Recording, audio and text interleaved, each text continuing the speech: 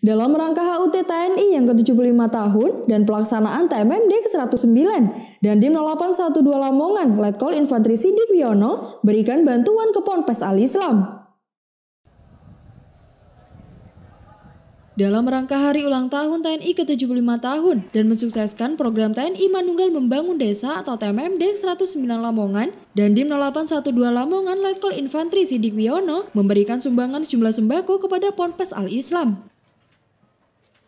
Letkol Infanteri Sidik Wiono disambut langsung oleh pengasuh Ponpes, Ustadz Hosin, yang sekaligus Ketua Yayasan Ponpes Al-Islam.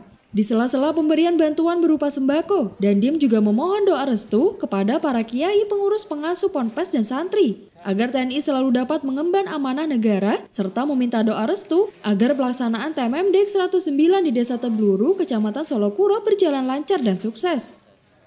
Hari ini kami dari Kodim Lamongan bersilaturahmi ke Pondok Pesantren Al-Islam untuk memberikan bantuan sembako kepada para santri di Pondok Pesantren Al-Islam ini lewat Bapak kami Ustadz Hosin.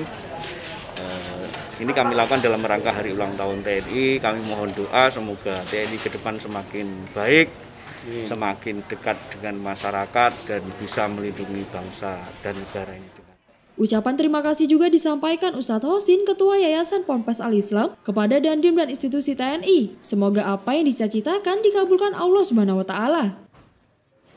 Yang saya hormati Bapak Dandim Lamongan yang hari ini bersama-sama dengan eh, keluarga besar Pondok Pesantren Al-Islam dalam rangka melakukan eh, gerakan sosial eh, semoga apa yang beliau lakukan beliau amalkan merupakan amal soleh untuk uh, beliau pribadi dan institusi uh, TNI yang ada di Kabupaten Lamongan.